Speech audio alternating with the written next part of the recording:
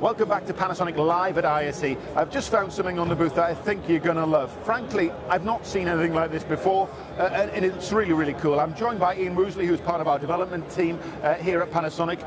Ian, tell us what we've got. Sure, this is a new O2O service from Panasonic that we're calling Light ID.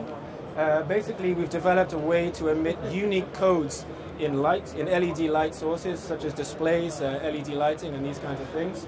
And then we've also developed an application here uh, that we use to decode that light and then link to content associated with the content on the screen. Okay, can you show us a demo? Sure, so it's a multilingual app. Uh, there's four languages available here.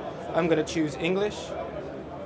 And then I just hold it up to the light and it's uh, downloading content associated with that.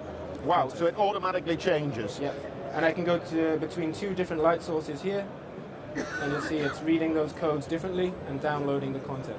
It's amazing. Uh, tell us how is this different to a QR code, say? Well, with a QR code, it takes a, a lot longer. You need to find the QR code. You need to put, uh, go up to it, get it between the, the, the, the square of, you know, of your camera on the phone, and then you download the information that way. With here, uh, we're simply, look how far back we're standing here, Yeah. right?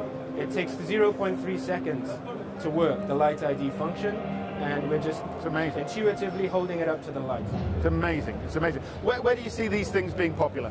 We're getting a lot of interest at the moment from museums and art galleries, from theme parks, um, various different retail customers, QSR, all of these things. And the use case, it depends on each one. It can be additional education information.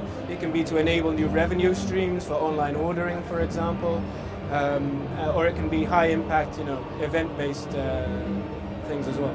Ian, I think it's great. Thank you for joining us on Panasonic Thank Live you. at ISE. Don't forget, if you're coming down to the booth this week, we're in Hall 1, H20.